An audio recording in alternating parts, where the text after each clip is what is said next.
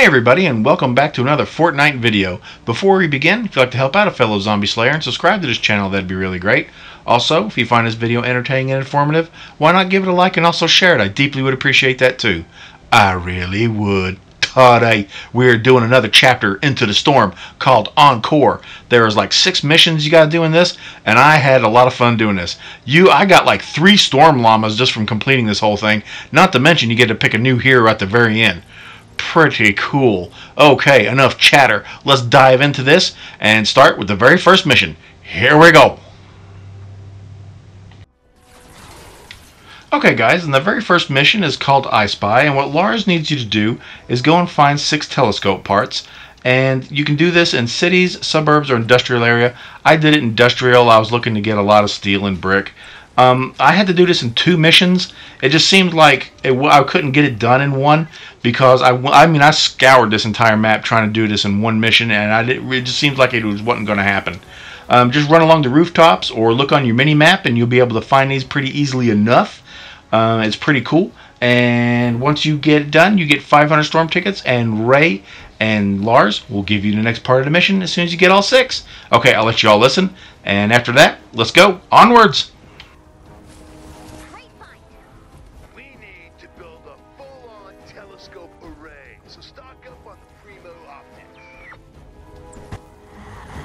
Part 2 of the mission is called What's a Payphone, and the Hover Fleet are calling back with their reports to Ray. Um, again, do this in cities, suburbs, and industrial zones. Um, you need to find seven payphones, and when you do, Ray will give you the next part of the mission, and you'll get 500 storm tickets. Not bad, and that's what they look like right there. And when you activate it, I'll let you all listen, and let's continue on to the next mission.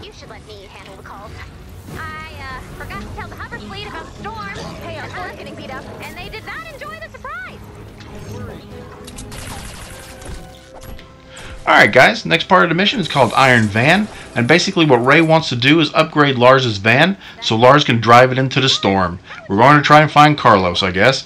Um, what she needs you to do is to find 30 insulators from electrical transformers. So basically you're going to have to do only do this in industrial areas. Um, don't worry about trying to find 30 of them. You can do this in one mission. As you can see, there are transformers everywhere in, a, in an industrial zone. And yes, some of them do drop two at a time, which I'm going to show you here in just one second.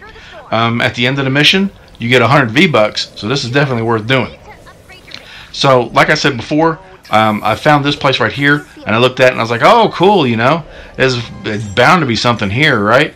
So I was kind of confused because nothing was glowing here, but when I went in here, boom, right there it is. Okay, so yeah, let me get that steel, and then when I busted this one here, I got did get two from it. So I got like six out of the four pylon, electrical pylons that are in here. I got like six of these electrical things.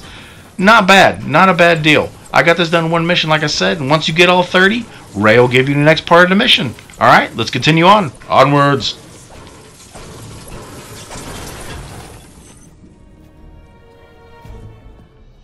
Okay guys, next part of the mission is called Steel Icarus and basically what you have to do is launch Lars into the storm. Now, this mission right here is a little bit tricky. Um, when you can't just go into the map and just hit ride the lightning and expect to get this done. And what I did was, is I had a feeling I was supposed to go here and hit play now. I looked at it and I was like, eh, I'm going to hit play now. And look what happened when I did. Boom. Sent me to a special map it's just like the Lightning, but it sent me to a special map just for this mission. If you don't do this, you probably won't get it done. And yeah, there there's also a little more to this, but just make sure you do this first part right here, and then we'll continue on, and I'll show you something else you have to do when you do get into this mission. So here we go. Lars, I've heard your concerns, and I've passed on van upgrade duty to a team of highly trained construction bots who are currently lost. But I'm sure they will do a very good job once you find out where they've wandered off to. Track down those construction bots when you're ready. You search, I'll scan.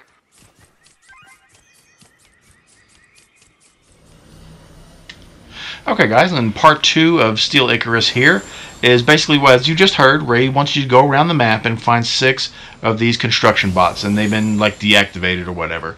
This is easy enough. If you look on your mini map, you'll see a little robot head or whatever, and they just look like boxes. And right there it is. You get near it, it just turns on, and it'll do that. Kind of, kind of looks like the health bot. And then it'll deactivate, and then you just hit it, and boom! That's all there is to it. And it'll go, and it'll all six of them will go to Lars's van. And once you uh, defend van and launch Lars into space, that'll be it. You'll get your reward, which turns out to be 500 storm tickets, and you'll continue on to the next part of the mission. Okay, onwards. Okay, guys. Uh, next part of the mission is called Van Down, and basically what this is is Lars's van. You get it up and running, and it goes up, and his systems start to crash, and he, he needs to get his systems up and running by collecting five backup data servers, and you can do this in cities and industrial areas. That's what they look like right there. And once you get that, you get all five of them, you get 500 storm tickets, and Ray and Lars will give you the final part of this whole entire mission. So let us continue on.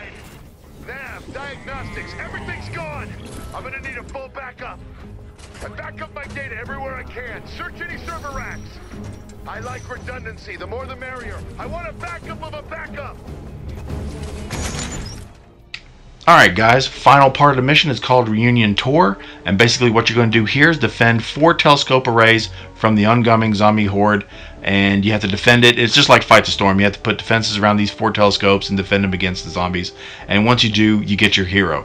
Here's the thing, where do you go to do that? I had no idea, so what did I do? Again, this might be a little confusing. I hit play now, and boom, there I am. See? And it's called Watch Skies, and this is where it gets really cool. Okay, this is where it gets awesome. Uh, it's a desert, and if you haven't played any of the, you know, three day storm and seven day storm, this is going to be really, really fun. Okay, this is just tip of the iceberg. Let me show you what it's like. Alright guys, like I said before, if you haven't done the 3 or 7 day storm, the new event, um, then this will be your first experience in a desert like it was for me. Uh, this was really awesome. Visually, I was just eating this up. And just the whole feel of the place was great. Um, as you can see, you do have a little over a six minute time limit to build your defenses against the zombie horde. I couldn't help it. I had to explore and look around. I mean, there's a new type of flower in here. It gives you the same stuff as the regular flowers do, but except that the flowers just look blue. Um, yeah, but this is really cool. Uh, there's a lot of materials and a lot of ore and stuff like that all over the place, and I had a blast doing this. Okay, so once you defend, and you, see, you can see my compadres there, they're building everything up. Once you defend against the zombie horde and you win, you will get your new hero. So let's go and take a look at the new heroes. Alright guys, you get to pick one, so let's take a look at him here. Uh, Bulletstorm Jonesy uses high magazine weapons to build up attack speed and mow down enemies. Sounds pretty cool. Uh, heavy Base Kyle, constructor focused on taking down enemies with base to charge up a great energy Nova. Pretty sweet. Let's move on. Harvester Sarah, a close range scythe ninja who uses smoke bombs and shadow stance to survive on the battlefield. Pretty, pretty cool. And the last one is Ted Shot Jess.